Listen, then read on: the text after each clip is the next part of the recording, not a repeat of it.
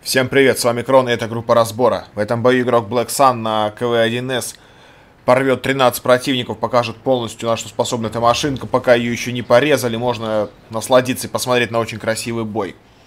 Итак, карта, как видите, у нас перевал. А, на разъезде наш игрок пошел сразу в сторону моста, в сторону третьей, четвертой линии. То есть он не стал уходить на а, ледник, не стал воевать там. Немножко ускоримся, чтобы не тянуть время.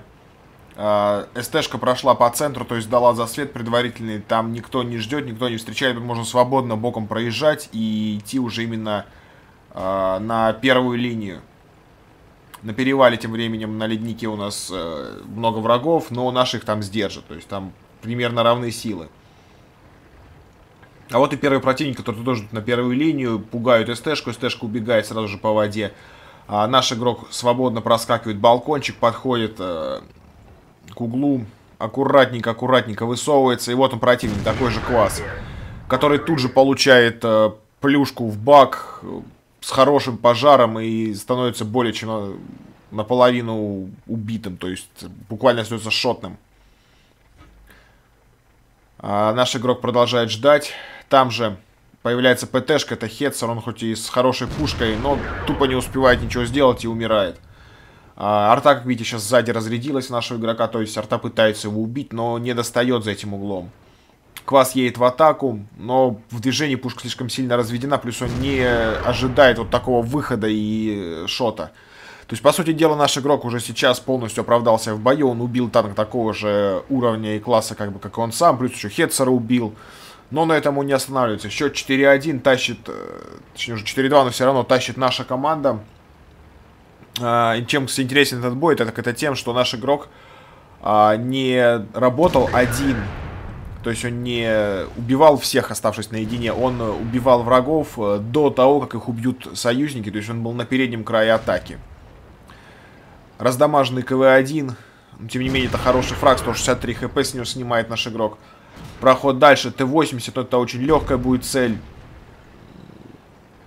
Сейчас идет, кстати, коса смерти, то есть каждое попадание это шот. Т-80 просто на ходу улетает сразу в ангар. А, с последним патчем, когда повысили точность пушек, Квас стал нереально рулить. Собственно, из-за этого его, наверное, и режут. А, Сау-40 не попадает. Не попадает вторым выстрелом и улетает в ангар. Слишком легкие цели для Кваса, поэтому нужно набил целых 5 фрагов. А, Пронч рвется в бой, не дожидаясь ПТшек, которые сзади. Просто едет рвет всех сам. На ходу, снимая с одного выстрела любого противника.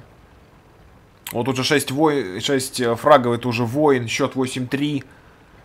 То есть союзников еще очень много, но класс успевает проехать везде на хорошей скорости, именно набрать э, фрагов, набить врагов. Готовы уже и арта, то есть нужно просто расслабиться, спокойно добивать противников. Э, основные силы врага остались только на мосту и э, на леднике. Причем они там э, раздамаживают наших весьма болезненно. Сюда летит елка. Очень быстро летит, но ставится на гуслю буквально с одним хп. Это просто подарок для кваса. Хоть один хп, но это уже восьмой фраг. И еще осталось 5 живых фрагов. А, пока еще живых. Тем не менее, хоть это и добивание, но до этого увидели, что снимались полностью целые противники, снимался такой же квас, то есть игрок э, не просто добивает, но еще и вытаскивает Снарядов еще достаточно, врагов еще тоже, так что можно спокойно расслабиться и аккуратненько-аккуратненько добивать противников. Квас справа сейчас не опасен абсолютно, тем более его не убьют, а вот слева есть шотные враги, которых нужно добирать и забирать фраги себе, не оставляя их союзникам, чтобы набить как можно больше число фрагов. Кто-то может начинать э, уже обзываться, что это фрагодрочество, но красивый бой делается только так. Следующая СТшка, 190 хп, улетает в ангар. А, кваса немножко раздамажили, нужно свешиваться. Но свешиваться с моста нельзя, потому что можно упасть вниз. А, чтобы свеситься, лучше проехать на зелени. Вот уже здесь зелени, спокойно под углом э, пробить. По сути дела, это было попадание, похоже, в двигатель с пожаром, с хорошим. И э, это был уже одиннадцатый фраг, то есть уже есть еще медалька. Следующий противник тип 58. Китаец прячется, но выставляет зад, э, получает плюшку на 300. пробивает движок. Игрок пытается объехать и, не замечая в полубиту, просто сталкивает Су-100. Точнее, она сама уже сваливается окончательно. Вот поэтому нельзя с моста свешиваться. Могут либо союзники вот так столкнуть нечаянно, а, либо могут столкнуть специально, либо можешь сам свалиться. Поэтому лучше всегда свешиваться либо не с мостов, а вот именно с зелени, именно с э, обычных э, каких-то таких препятствий. То есть с холмов, э, с утесов, но не с мостов, не с каких-то там таких под прямым углом зданий. Собственно, есть 12 фрагов, остался еще один. То есть сейчас уже можно расслабиться, выдохнуть, э, унять дрожь в руках, спокойно добрать еще один фраг и радоваться победе, радоваться классному бою. Остался один светлячок, AMX-40, он где-то на базе, потому что он еще не светился даже. И вот он стоит, залез на горку, прячется. Возможно, это просто бот.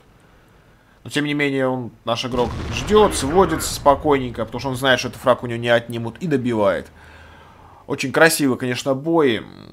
Много дамага, много фрагов. Э, жалко, конечно, что класса порежут скоро, но, тем не менее, сами видите, что это очень читерный танк, и во имя баланса нужно его резать. Тем не менее, подписывайтесь на мой канал, ставьте лайки, э, комментируйте, заходите в мою группу ВКонтакте. Всем пока.